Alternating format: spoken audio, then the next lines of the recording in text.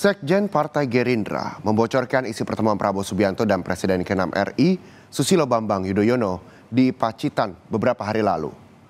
Ditemui di gedung Parlemen Senayan, Jakarta, Sekjen Partai Gerindra menyebut pertemuan Prabowo dengan Susilo Bambang Yudhoyono sudah direncanakan sejak lama. Pertemuan itu juga merupakan itikat baik Prabowo kepada seniornya yang juga Presiden ke-6 RI. Selain silaturahmi, Pertemuan antara Prabowo dan juga SBY juga membicarakan politik dan cerita tentang masa lalu.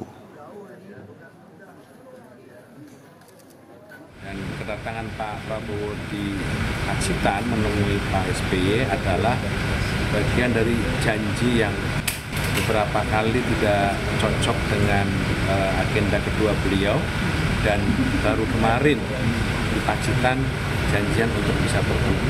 Uh, yang ringan-ringan tentang museum uh, SBY Puani tentang masa lalu dan biasa kira bicara politik. Sebelumnya, Ketua Umum Partai Gerindra Prabowo Subianto terus bersafari politik.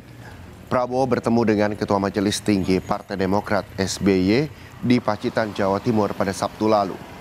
Prabowo pun bertemu empat mata dengan SBY secara tertutup Menteri Pertahanan ini hanya bilang pertemuan dengan SBY adalah halal bihalal antara senior dan junior.